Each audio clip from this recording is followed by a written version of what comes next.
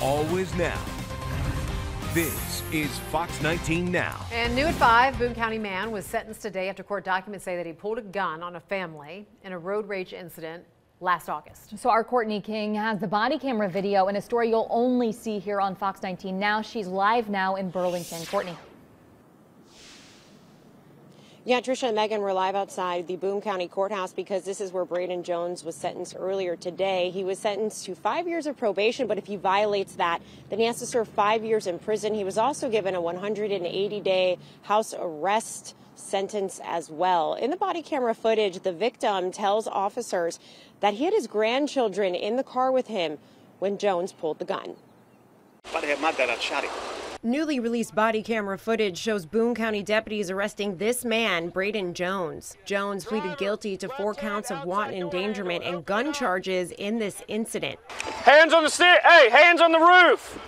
Put your hands on the roof. Both hands on the roof. Keep them there where I can see them. You can't see Jones in this clip, but you can hear the deputies yelling at him to comply. Step out, face away from me. Do not look back at me. Face away from me now. Step back! Jones is accused of pulling a gun on a family in a road rage incident in August of 2023. Okay, stop looking at us! Forward! Once Jones is in handcuffs, an officer searches his bag. He finds drugs and a weapon. There's a bunch of weeds and baggies, and a gun. Another deputy comes over after talking to a witness. He said it, it might have been like a silver in color type firearm. That's exactly what it is. Here's the victim talking to deputies. Handheld pistol. Yeah, handheld pistol, yeah. Jones, who was in the passenger seat, tells the deputy he pulled the gun because he was in fear for his safety. I thought he made a gesture to like get out of the car, attack me, so I just waved my gun at him and then just went past him and kept going and tried to get away from him. But the victim says otherwise. He tells authorities the car Jones was in was tailgating him because he wasn't going fast enough. She's just far behind my bumper. I'm like, what are you doing?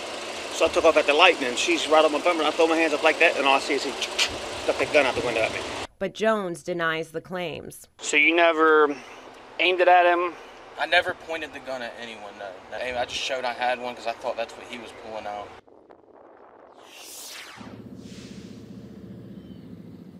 Now, the female driver who was driving the car that Braden Jones was in is not charged in this case. Also, in that body camera footage, Jones admits to officers that he just bought that marijuana because he smokes a lot.